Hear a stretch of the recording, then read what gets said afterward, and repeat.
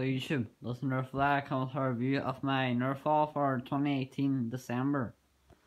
As you can see that the Nerf wall has improved a lot. Cause I got recently got new blasters for Christmas.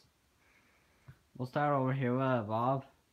He's still chill, chilling in the corner with all the gear. Then we got magazines. I have got some more 30 darts, 12 dart and 6 round mags.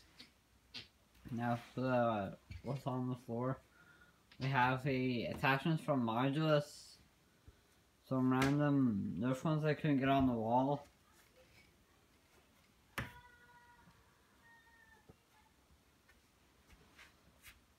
We'll start here with the ammo. There we have all the regular ammo. The AccuStrike has taken over my non-album. Then on up. Now, if you can see the new blaster, send me know in the comment section below.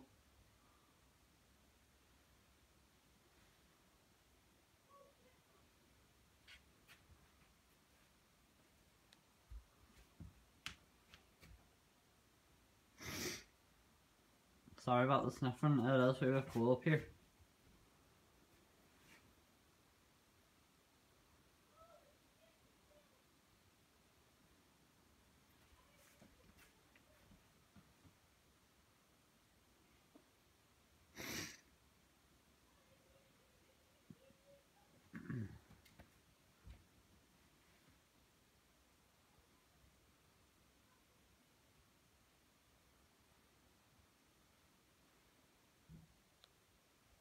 There's a Nerf wall.